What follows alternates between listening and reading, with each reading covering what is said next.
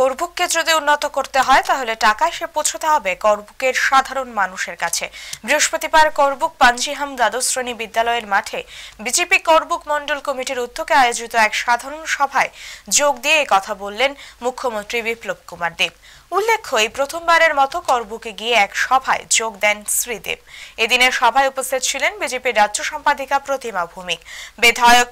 বুর্বমোহন ত্রিপুরা জেলা সভাপতি পদ্মমোহন জামাতিয়া সহ করবুক মন্ডল কমিটির কর্মকর্তারা যতটা যেই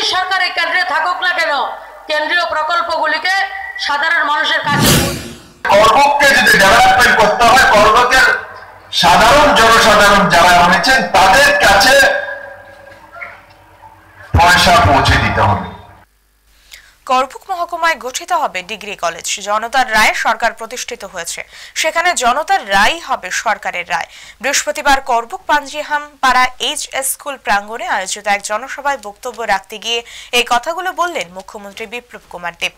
করবুকে ডিগ্রি কলেজ নির্মাণের বিষয়ে করবুকবাসীর ইচ্ছাকে প্রাধান্য দিয়ে তিনি অবিলম্বে শিক্ষামন্ত্রীর সঙ্গে আলোচনায় বসবেন এদিনে সভায় উপস্থিত ছিলেন বিজেপির রাজ্য সম্পাদিকা প্রতিমা ভৌমিক বিধায়ক বুর্বমোহন ত্রিপুরা জেলা সভাপতি পদ্মমোহন জামাত ভাতিয়া সহ করবুক মন্ডল কমিটির কর্মকর্তারা যতটা যেই কেন্দ্রে থাকুক না কেন কেন্দ্রীয় প্রকল্পগুলিকে সাধারণ মানুষের কাছে কেন্দ্র এবং রাজ্য সরকার কাজ করছে আমাকে একটা এখানে কাগজ পৌঁছিয়েছে যে আপনাদের দাবি এখানে একটা কলেজ লাগবে